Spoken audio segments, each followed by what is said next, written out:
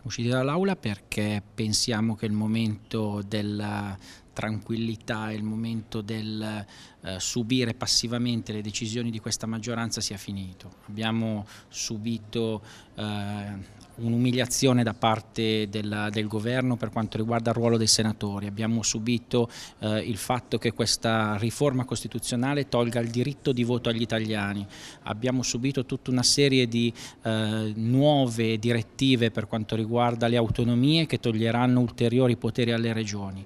In questo momento eh, la proposta di eh, creare un Presidente della Repubblica dipendente da questo Presidente del Consiglio lo riteniamo un affronto e uno smacco nei confronti una, della Costituzione, che la riteniamo ancora, siamo ancora convinti che sia il più alto modo di democrazia che ci sia in Italia. Stanno ammazzando la democrazia e di conseguenza abbiamo deciso ancora una volta di... Eh, non essere complici di Renzi, di Verdini, di Berlusconi e del signor Tosi.